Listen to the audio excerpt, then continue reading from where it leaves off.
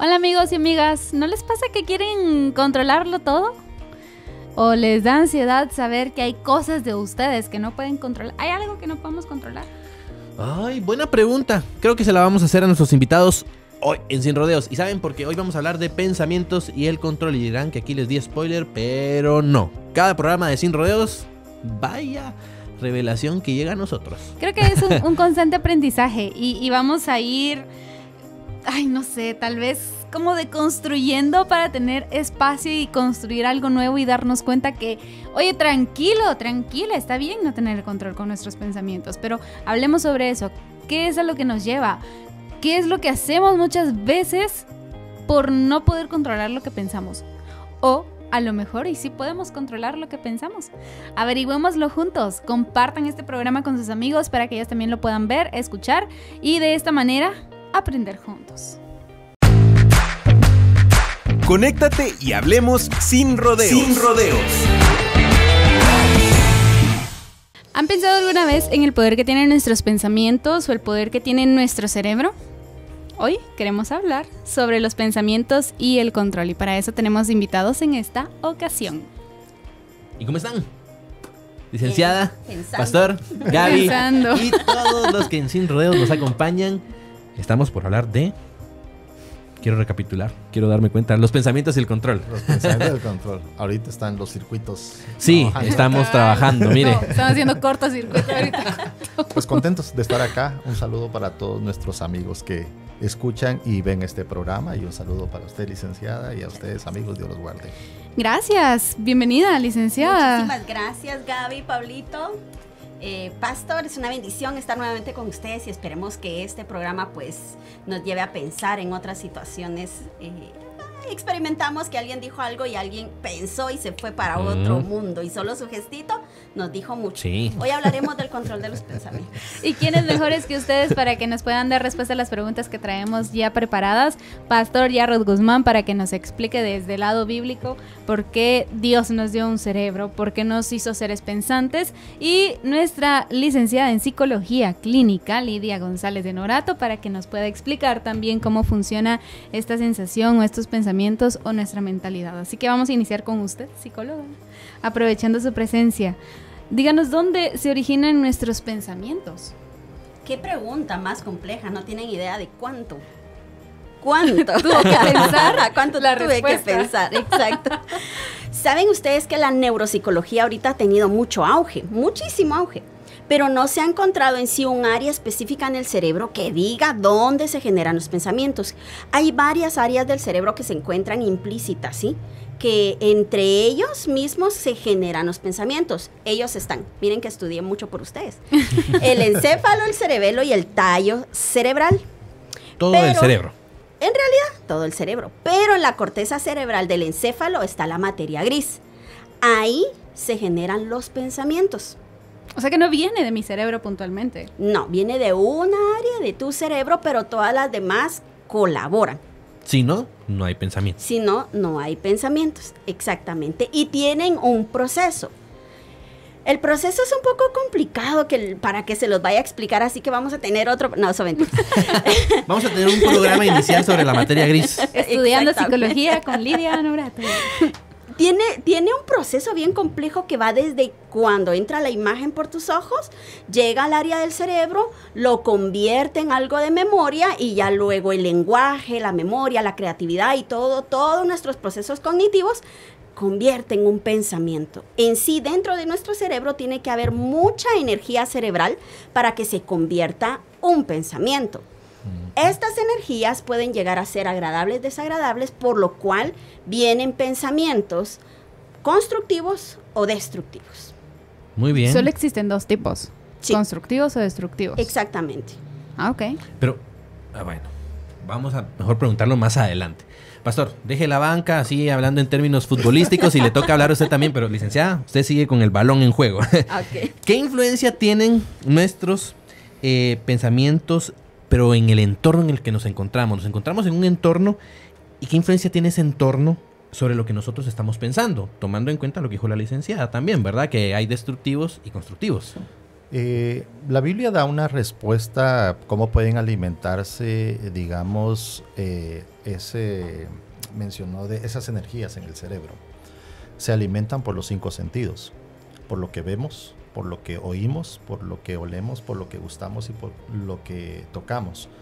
Es decir, eh, son los elementos eh, en el mundo cristiano se le conoce como las avenidas del alma. Es decir, por ahí ingresa toda la información hacia nuestro cerebro. ¿Cómo puede influir?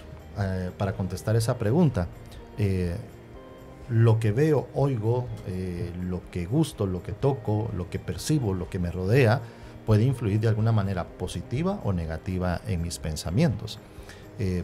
un ejemplo sencillo es, usted está escuchando digamos, eh, una, una canción constantemente que le está hablando sobre alguna área, va a llegar un momento en que usted, cuando ya no la escuche, en su mente va a seguir revoloteando ese, esa, esa, esa área.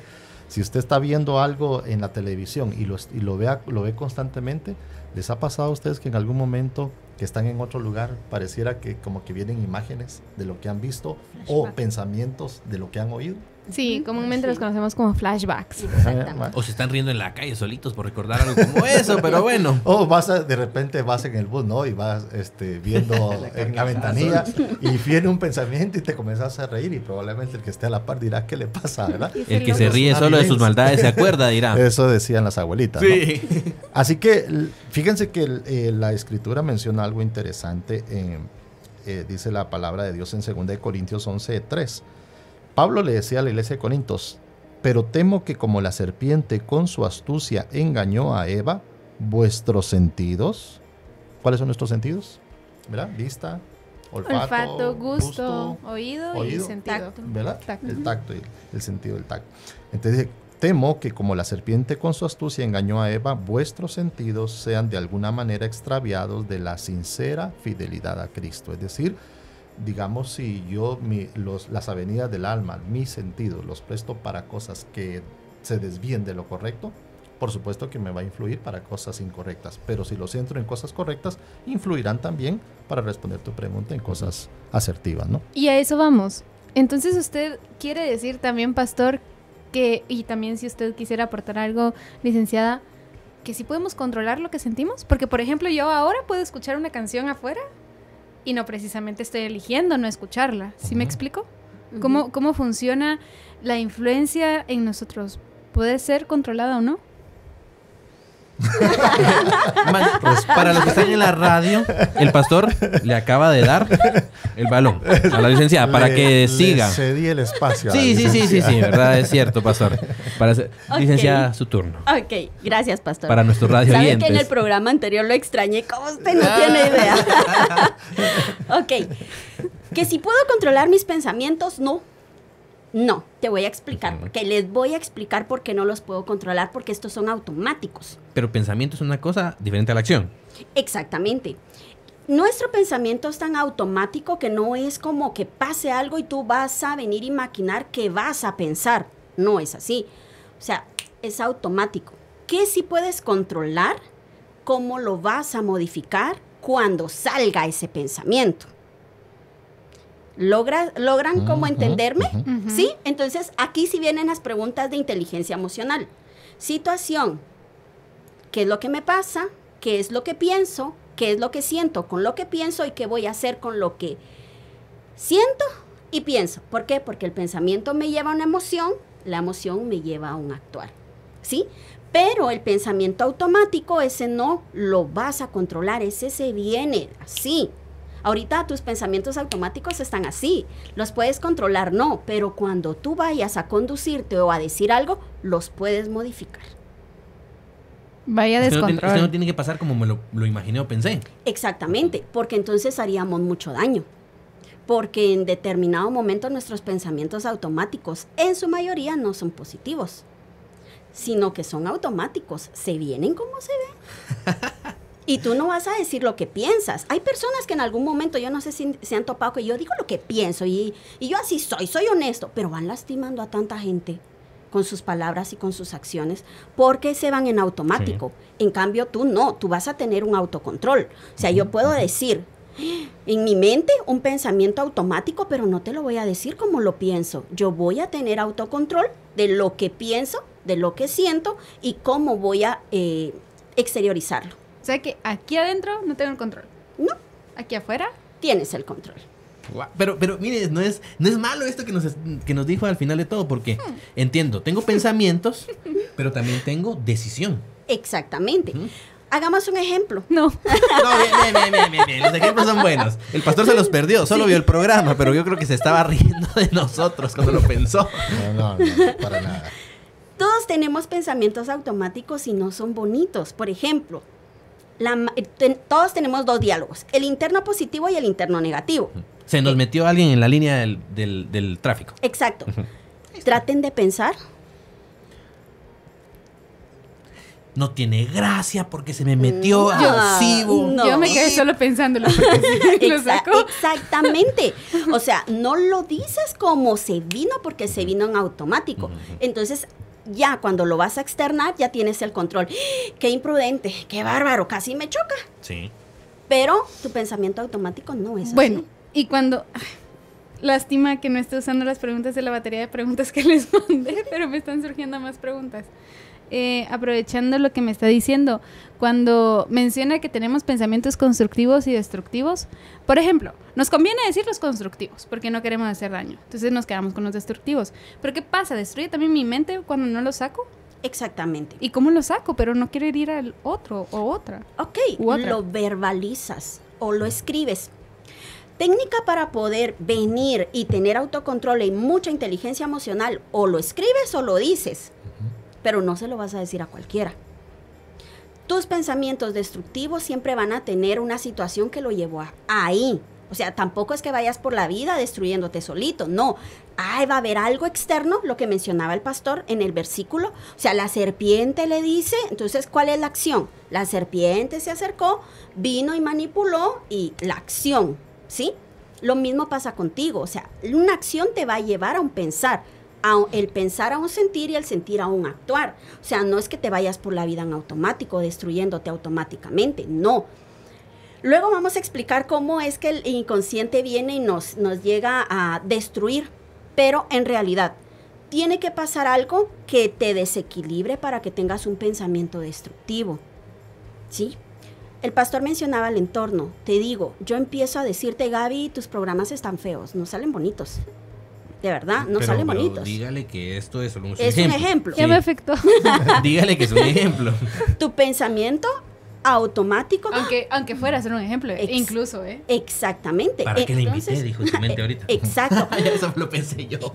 Exacto, y lo, lo hizo verbal. Y yo ya me lastimé con lo que él me dijo, pero yo te, ejemplo. pero yo ya te lastimé a ti.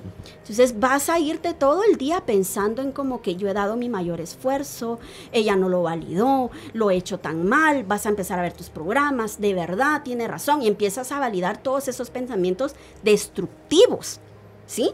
Y entonces cuando ya vengas a volver a hacer otro programa, vas a dar tu mayor esfuerzo, pero ya no te lo vas a creer, porque te, te quedaste con la idea de tus pensamientos destructivos, negativos, que yo implanté en ti. O sea, mi entorno sí puede afectarme muchísimo. Por eso el ideal es que todos estemos sanos emocional y que aunque lo pensemos, lo digamos en una forma diferente. Por ejemplo, Gaby, yo te tengo sugerencias de temas para que lo hagamos de mejor manera. ¿Sí?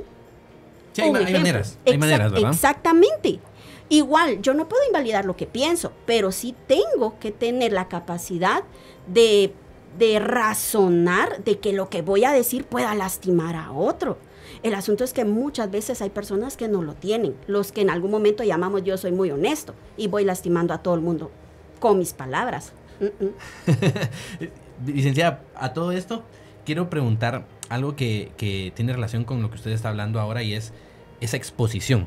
Hay exposiciones a las cuales inevitablemente, valga la redundancia, nos vemos expuestos.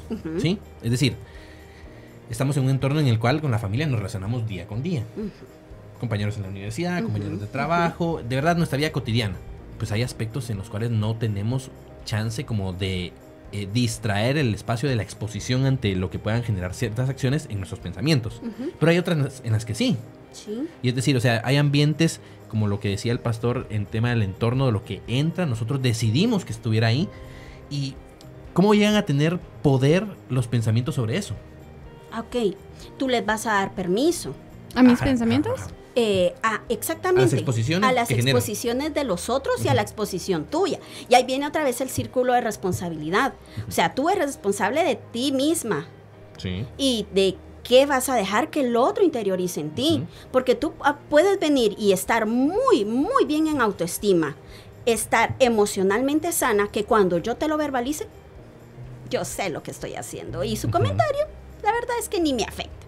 La próxima vez lo que voy a hacer es ya no invitarla, porque ella no está eh, de acuerdo o conforme con lo que estamos haciendo. Y entonces tú ya pones esa barrera para que yo no te destruya. O sea, quitas la responsabilidad que yo estoy poniendo en ti y te haces responsable de ti, de tus pensamientos y no dejas que yo introyecte lo que yo estoy pasando. Porque si estoy dando algo destructivo es porque no la estoy pasando bien. No voy a dar algo que no tengo. Es un reflejo, o sea, lo que decimos siempre va a ser un reflejo de lo que estamos pensando, ¿no? Exactamente. Jesús lo diría de esta manera, porque la abundancia del corazón habla la boca. Exactamente. Y la, el corazón en el contexto bíblico está relacionado con la mente. Y Jesús relaciona el corazón con los pensamientos. Por ejemplo, eh, hay un texto bíblico eh, que menciona lo siguiente. Noten, ¿se acuerdan ustedes de los, de los eh, antidiluvianos, no? Sí. Miren lo que Dios indica acerca de los antidiluvianos. Y vio Jehová que la maldad de los hombres era mucha en la tierra, y que todo designio de los pensamientos del corazón de ellos era de continuo al mal. Noten la relación entre pensamientos y corazón, y cuando la Biblia habla de corazón se refiere a mente. Así que eh, decía Martín Lutero, no podemos evitar que los pájaros vuelen o revoloteen sobre nuestra cabeza, refiriéndose a los pensamientos pero sí podemos evitar que hagan nido en nuestra cabeza. Es lo que decía la licenciada. Tú no puedes tener control de pensar o no pensar, ¿verdad? vas a pensar continuamente. ¿Y sobre qué vas a pensar? Sobre lo que consumes. Eso sí tienes, sí puedes tener control sobre lo que consumes. Sí. Y ojo, la mente es un disco duro de capacidad de almacenamiento eh, infinito. No tiene tope. Ah, es que es la Eh, maravilla no ser tiene humano, tope. de veras. No tiene tope, no es como aquellos discos duros que dices tengo un tera y, y lo voy a llenar. No, no tiene tope. Y cada experiencia, buena o mala, pastor, llega acá. Sí. Exacto. Y recuerda, las cosas que utilizas continuamente las tienes en el consciente y las que no las utilizas las tendrás almacenadas, ¿verdad? Siempre en tu cerebro, pero estarán en el subconsciente. Es decir, en, en algún lugar de, de- de almacenamiento temporal, por decirlo así. Bueno, hay un almacenamiento temporal y un almacenamiento fijo por tomar las ideas de, de computación. Así que este, tienes, sí tenemos, no podemos evitar pensar, pero sí podemos, sí podemos eh, qué pensamientos tomen control de nuestra vida. Eso es, eso es importante. Me sigue, me sigue encantando la propuesta del programa porque hoy por hoy esto no es algo que deba a cada persona que nos está viendo o escuchando decir, no, ya estás perdido. No, tienes la oportunidad de no dejarte vencer por una serie de cantidad de pensamientos que nos destruyen. Exactamente. Y aprovechando que estamos por acá, ¿qué influencia o qué, qué papel juega el diablo o Dios con nuestros pensamientos y su influencia? Bueno, eh, lo hemos dicho en algunos programas anteriores que el ser humano desde la perspectiva bíblica, eh, eh, el, el ser humano es, está en medio de un gran conflicto entre Cristo y Satanás, ¿no?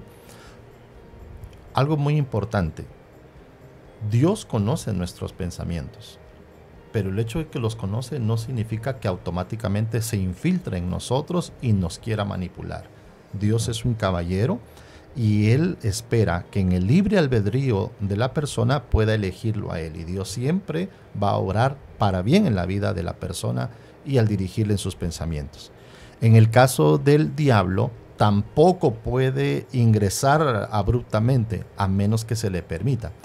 Con la diferencia de, de- de- de Dios y el enemigo es que Dios espera que voluntariamente se le abra la puerta del corazón, de la mente de la persona y que voluntariamente la persona le permita ingresar y Dios ingresa. En el caso del enemigo es que medio se abre la puerta y quizás ni se le está invitando y se puede infiltrar. Eso Ah. sí hace el enemigo. ¿Cuáles son esas puertas que le abrimos? Todo aquello que viole los principios de Dios. Y cuando está Dios dentro de esa puerta, el diablo igual y O sea, Bueno, puede haber, eh, puede existir Cuando está dentro de la persona que le ha abierto la puerta a Dios, dice, ¿qué hace el enemigo? No, cuando ¿No? yo Gabriela Coronado le abro mi puerta a Dios y él ya está dentro, pero la Sí. dejo entreabierta y el diablo aprovecha para... No, eh, hay una ley del espacio. Hay una ley del espacio. Este, y voy a hacer algo eh, físicamente aquí con este teléfono y como este, pues para que más o menos tengan usted algo. Voy a tirar mi teléfono. Aquí está mi teléfono en un espacio y los que están observando, no sé si se logra captar acá. Aquí está mi teléfono, ¿sí? Y este es el teléfono de Gaby. ¿Puedo colocar el teléfono de Gaby en el mismo lugar donde está el teléfono mío? No, lo puede colocar encima. Debajo, al lado. Lo puede colocar, pero no ahí. Pero la ley del espacio indica que dos objetos no pueden estar en el mismo lugar al mismo tiempo. Esa es una ley del espacio. Entonces, tuve que tirar uno para que el teléfono de Gaby ocupe. este, el Eh, fue abrupto, fue abrupto. sí. Es una ilustración, pero es de la misma manera. Y ahí incluso así Debo es también. perseverar que Dios esté en mi vida. Por eso Ajá. hice el ejemplo. Porque, Porque es pues, que- un teléfono no vale como la presencia de Dios puede valer. No, pastor, mire, nos hizo que la mente quedara así. La licenciada también se quedó así. Wow. Mire, pastor, recuerdo una ilustración que se utilizaba mucho para ejemplificar eh, el tema de, de la presencia de Dios en nuestra vida, Mm. como también Sí. el de nuestra presencia. Hay un trono en nuestro corazón. Sí. Puede estar Dios, puede estar el adversario, y podemos creer que estamos nosotros, pero cuando estamos nosotros, la puerta se queda abierta para el adversario. Y es ahí cuando, cuando yo pregunto, pastor, eh, si el diablo puede tener esa influencia sobre nosotros, es una subpregunta aquí. Eh, realmente a Dios siempre le hemos dado, digamos, eh, en nuestro libre albedrío, la, la ocasión de que more en nuestra vida. Pero cuando nosotros estamos exponiéndonos a diferentes situaciones de la vida, el enemigo entra sin, sin, ninguna, sin ninguna invitación. eh, es, es realmente contraproducente todo esto, ¿verdad? Eh, es es, parecido a algunos aspectos que mencionaba la, la licenciada desde la perspectiva profesional. Y miren cómo la, la ciencia y la religión sí realmente pueden ser compatibles, es que son compatibles. Ajá. La verdadera ciencia, dice la sierva de Dios. Que hablaremos de eso más ¿verdad? adelante en otros programas, es, por es- es cierto. compatible. Así que espérenlos. Eh, así que la incorrecta ciencia es la que está en, en contra de los... La, la, cien- la verdadera ciencia es, es compatible a los principios bíblicos. Eh, digamos, eh, tú has abierto tu corazón a Dios, Dios habita en ti. Eh, solo recuerda algo, tienes cinco avenidas. ¿Cuáles son las cinco avenidas del alma o de la mente? O, o- alma me refiero a la mente, a, a- ¿verdad? Los ojos, Ojos, los oídos, la boca, nariz, boca lo que y toco. tacto. ¿verdad? Lo que No hay huele. sexto sentido, mujeres. De hecho, sí, lo hablamos en el programa de la maternidad, pero ese es otro programa. Eh, eh, así que esos, esos sentidos, tú tienes a Jesús en tu corazón, pero estás con el, con el control en la mano del televisor y comienzas a cambiar. Y estás observando, por ejemplo, eh, una película donde habla de espantos, de muertos vivientes y de posesiones Demoníacas. demoníacas. Ya le abriste la puerta al enemigo. O sea, no fue que invitaste sí. al enemigo a que entrara a tu vida. No está Ouija, está no Jesús en tu vida, tú amas a Jesús. Pero la venida del alma más directa al cerebro son los oídos y los ojos. Son las más directas al... esa- todo lo que ves y lo que oyes entra rapidísimo a tu mente. Ingresa directamente.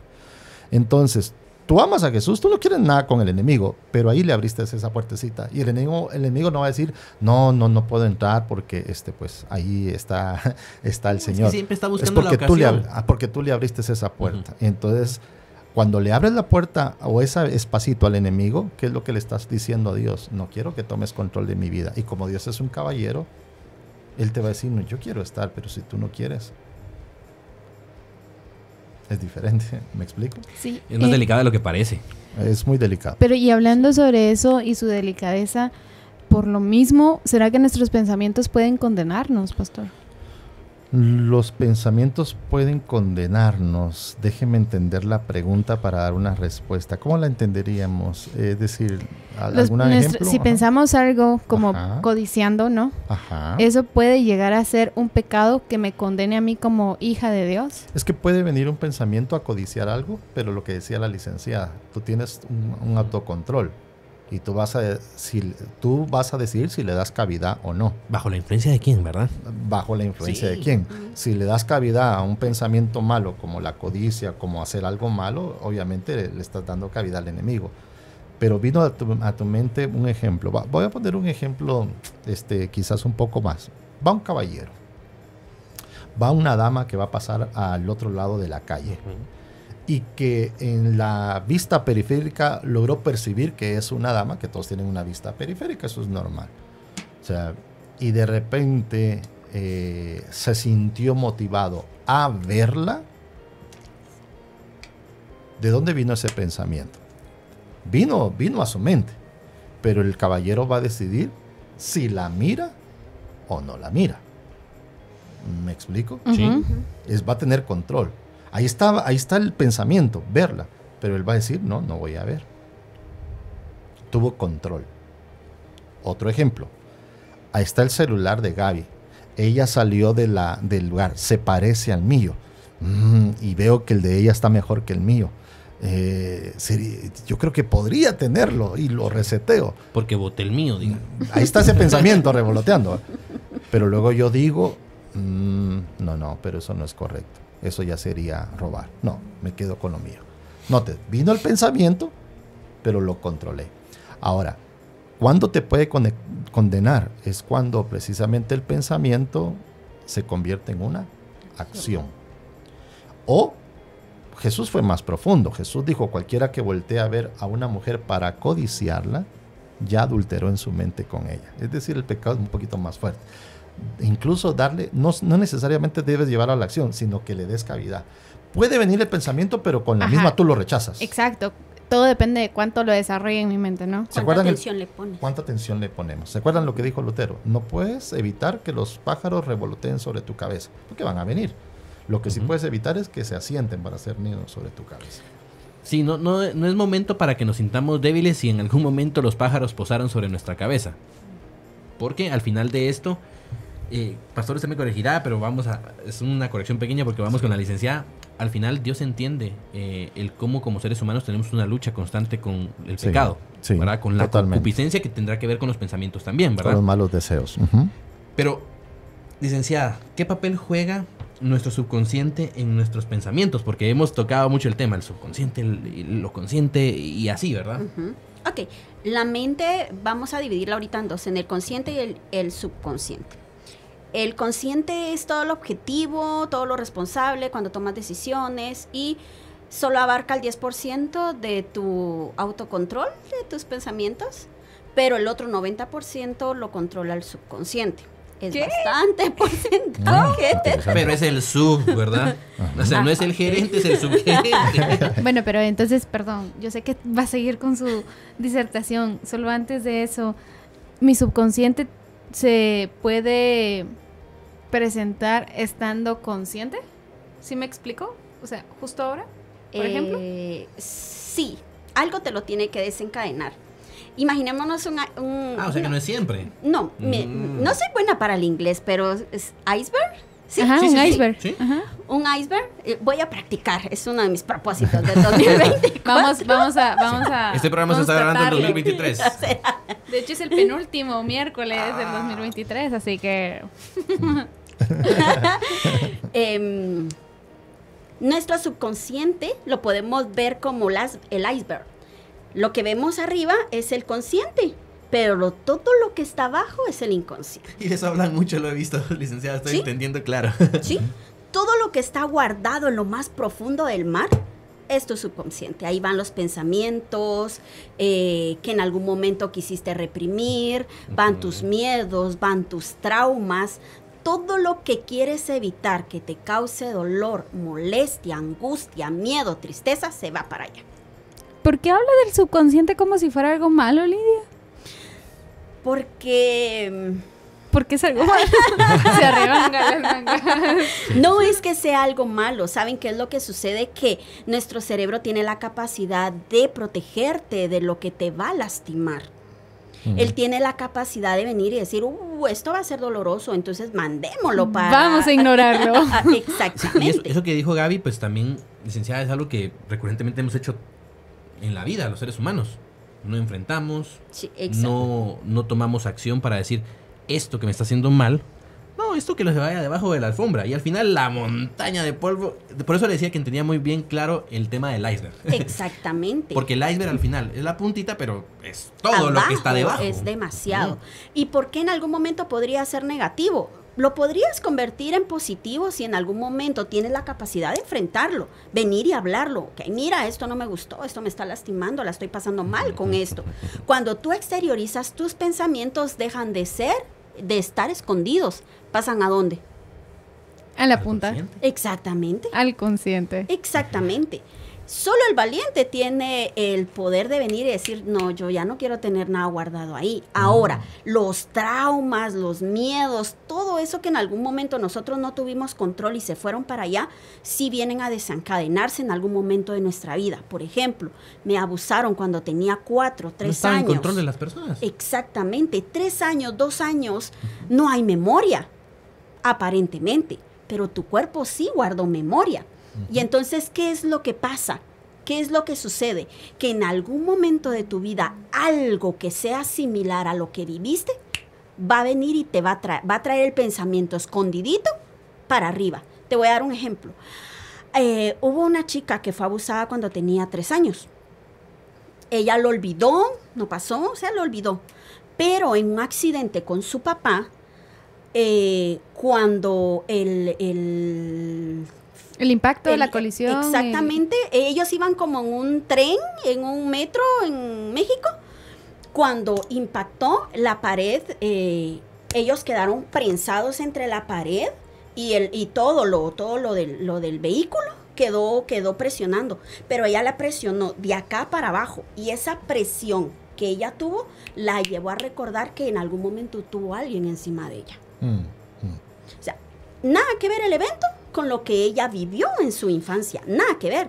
Solo fue la presión, el sentirse ahogada, que la llevó a recordar eso que tenía reprimido. Y, licenciada, esto es hablando de una situación en la cual ella no tuvo control.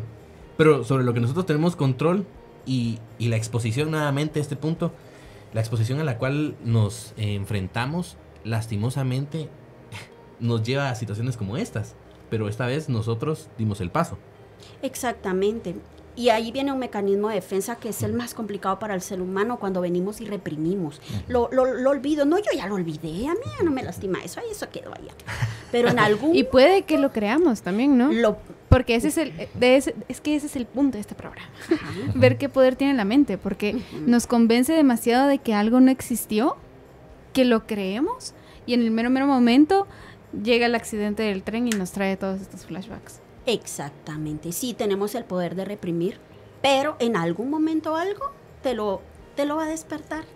Algo va a hacer de que quieras salir de ahí. a ser presos No, de no, nuestros no, no. pensamientos. No, no, no, no. No, Estamos no. aprendiendo, estamos aprendiendo. La verdad es que no, porque cuando lo resuelves, o sea, ya sana. La plenitud, la plenitud de, de hablar aquello que me está haciendo mal. Exactamente. O también entender que no quiero exponerme más a esto. Y de acuerdo a lo que dice la licenciada es traerlo del subconsciente al consciente y manejarlo.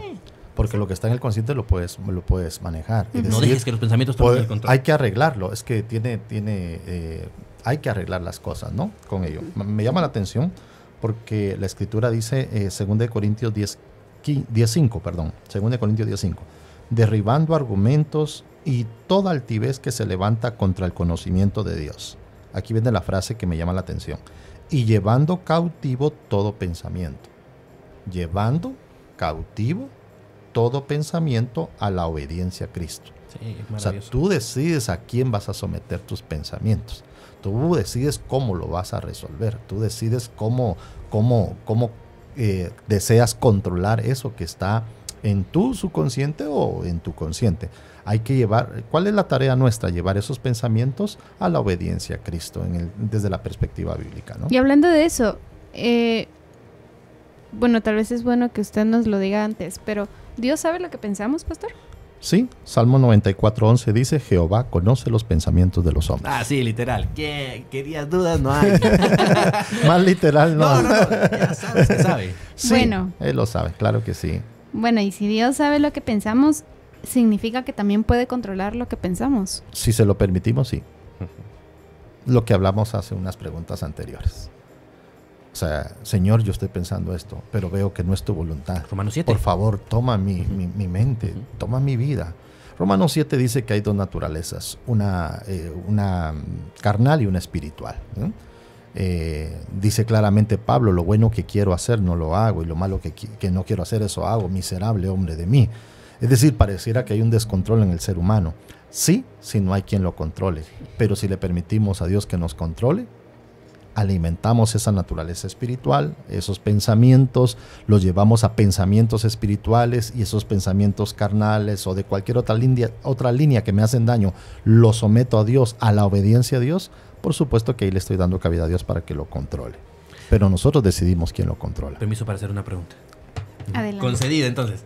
Pastor, a todo esto también, cuando la licenciada mencionaba puntos como aquellos en los cuales no tenemos el control. Usted estaba hablando ahorita de una situación en la cual tenemos que tomar el control con la ayuda de Dios y es decir, aquí está el volante, mi Dios, ayúdame, no puedo, ¿verdad? Pero también están las situaciones en las cuales eh, no tengo el control y me veo eh, afanado por la vida, ¿verdad? O, O, o aquellos que están viendo el programa claro. que no, no, no han experimentado esto de que Dios tome el control. Tal vez para nosotros cuatro es fácil Sí, sí, es decirlo fácil porque decirlo, sí. hemos crecido o al menos hemos conocido a Dios de una forma tan divina y, y- y- y maravillosa. Pero aquellos que tal vez no han tenido ese encuentro con Dios y, y están palideando, coloquialmente diciéndolo, eh, ¿cómo llegan a ese encuentro? ¿Sabe? ¿Cómo llega a esa tranquilidad del control de los... No, no solo de los pensamientos, sino de mis acciones. Que no sé si va enraizado, enraizado Ah, la- solo ahí le puede agregar Filipenses 4, 6 al 7. Es que ese- eso, eso quería llegar, porque Sí. el afán no es del cristiano, el afán es de todo el ser humano. ¿Y qué hago con esto? Cuando no encuentro paz. ¿verdad? Claro. Este, alguien que nos está escuchando en su radio o viéndolo a través de, de su dispositivo, no asiste a una iglesia, quizás ha tenido conocimiento de aspectos religiosos por su familia, pero no es practicante. Lo maravilloso es que Dios no está centrado a, algo. eh, bueno, o sea, cristianos es porque siguen a Cristo, ¿no? Pero, o sea, Dios es, eh, es el creador de todos. Lo aceptes o no lo aceptes, Él es tu creador. Creas en Él o no creas, Él es tu creador. Él es tu salvador, lo aceptes o no lo aceptes. Él vendrá, creas o no creas, Él va a venir. Pero ¿qué va a hacer contigo? Tú ahí puedes, eh, en, el, en el auto, en la casa, eh, caminando, en el parque donde te encuentres, qué sé yo, en el lugar donde te encuentres, eh, puedes decirle a Dios, puedes hablar con Él, Él es real. Y decirle, Señor, no te conozco lo suficiente, no sé muchas cosas de tu palabra. Quizás voy a repetir las palabras de Job, de oídas te había oído, escucho rumores de que existes, pero Señor, yo quiero experimentarte en mi vida. Entra en mi corazón. Ayúdame a reconocer que está mal en mí, ayúdame a confesártelo y ayúdame a recibirte, a recibirte a ti en mi corazón como el Salvador. Y quiero contarte que tengo estos pensamientos. A veces tengo pensamientos suicidas. A veces tengo pensamientos quizás de hacerle daño a la gente.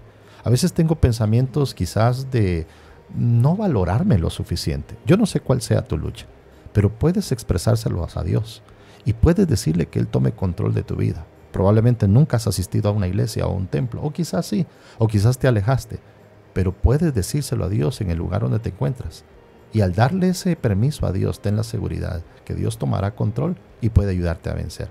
Si tienes un pensamiento de alguna tentación, es el momento propicio para decírselo. Y tú, hermano creyente, cuando venga algo a tu mente que sabes que no es de acuerdo a la voluntad de Dios, el mejor momento para vencer es ese, decírselo a Dios. Díselo o menciónaselo a Dios, que lo, lo que estás teniendo, por muy grotesco que sea, y pídele que Él tome control. Así que esas son las palabras que podríamos mencionar. Gracias. pastor. Las tomamos. Gracias, pastor. Llegamos a la última parte. Me gustaría escuchar sus conclusiones sobre los pensamientos y el control. Licenciada, le escuchamos a usted primero. Eh, quiero concluir con algo porque no quiero que se queden con el pensamiento de que en el subconsciente es porque todo en la vida la pasamos mal y siempre nos va a ir mal. No, no es así. Todos tenemos experiencias lindas de felicidad, pero la felicidad no es permanente. Todos tenemos situaciones de amor y eso como es bonito se queda en el consciente y lo recordamos. Pero tu cerebro quiere protegerte. Nuestro poder supremo, Dios, quiere protegernos de las cosas que en algún momento nos hacen daño y no estamos listos. Las guardamos para que cuando estemos listos podamos tener el valor de hablarlo, ¿sí? No O todo sea, tiene que ser inmediato. Exactamente, tranquilos, no pasa nada. El asunto es de que nuestros pensamientos nos pueden llevar a tener vivencias muy hermosas, porque cuando recordamos volvemos a vivir. Es, es un, Es es un refrán, pero en, re- en realidad tu cerebro tiene el poder de cuando tú piensas algo, él no le dice, ay, es un recuerdo, no, no, no le hagas caso.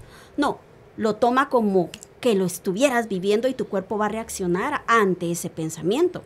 Entonces no te quedes con la idea de que en el subconsciente está todo lo feo tuyo y la vas a pasar mal. No, no.